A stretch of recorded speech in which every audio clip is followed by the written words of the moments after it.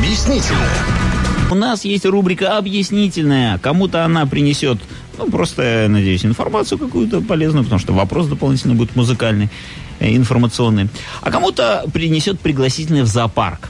Что нужно сделать, чтобы поучаствовать в объяснительной? Кто у нас сегодня? Э, наши друзья-спасатели из э, О. городского Минского МЧС. Ну Вот, так вот, из МЧС, э, ребята и Да. девчата, мы Да. так будем их называть, потому что давно с, ними, давно с ними дружим, Да, вот, и тесно общаемся. Так вот, они записали объяснение некоторого, э, какого-то слова, которое, ну, так или иначе связано с их тематикой. Вам нужно будет, тематикой их э, профессии. Да. Вам нужно будет догадаться, что это за слово такое, и прислать его на 9240. Вот послушать объяснение и как можно быстрее прислать. Если вы окажетесь первым правильно ответившим, то получите от нас дополнительный телефонный звонок, э, там с вопросом. Варианты ответов будут, если что, мы подскажем. Ну, а если там справились, то вас ждет зоопарк. Итак, что же это за слово, которое нам описывают? Как можно раньше пришлите, пожалуйста, ответ в виде смс на номер 9240. В годы Великой Отечественной войны промышленные предприятия и заводы отправлялись на Урал. Два коротких и один длинных звонка в школе во время урока. спасение людей и здания. Только она считается самым эффективным мероприятием по спасению людей во время извержения вулкана. И если она учебная, то все дети просто счастливы. Весной прошлого года широкомасштабные прошли во всех торговых центрах столицы.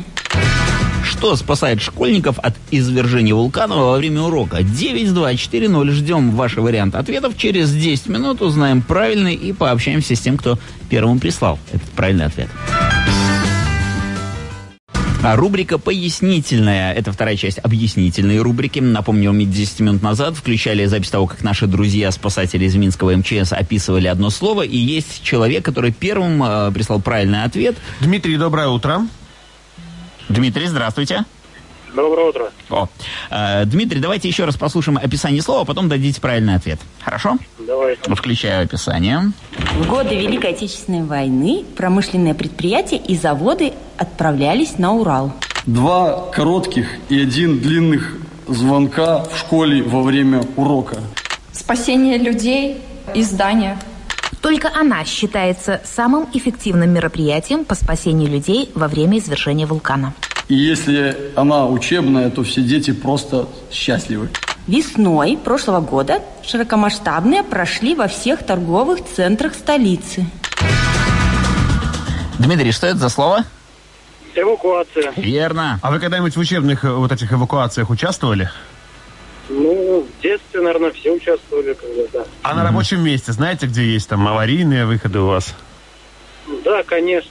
Ну вот. Тогда, тогда на это слово можно сказать, что Изучили? изучили и переходим к дополнительному вопросу. Сейчас вопрос будет э, связан, я так понимаю, с музыкой. Да, с музыкой и с эвакуацией, ну, я долго думал, как же объединить эти два понятия, и вспомнил, что, ну, как бы, отчасти, ну, может, звук сирены может их объединить, а звук сирены это характерная черта песни а, охотников за привидениями Ghostbusters, Ghostbusters Рэя Паркера. Знаете такую песню?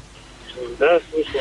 Вот, скажите, пожалуйста, Дмитрий, а какая телепрограмма из, э, я сейчас приведу варианты ответов из этих вариантов, вдохновила автора на написание текста песни? Программа «Служба спасения 911», программа «В мире дикой природы» или рекламная пауза? Могу привести вам... Да. Ну, Логично будет предположить э, службу спасения.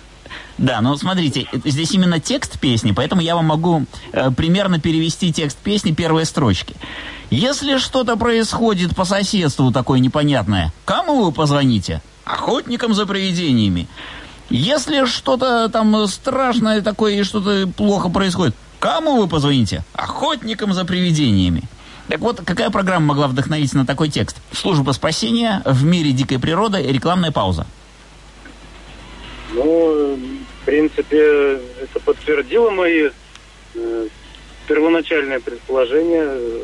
Да? Но это первоначальное предположение. А может, все-таки А к слог? окончательному варианту придем? Вот где заставляют? Вот звоните, мол, У прямо вас сейчас. кариес? Ага. Позвоните нашу зубную Ну, пасту. Тогда, возможно, реклама.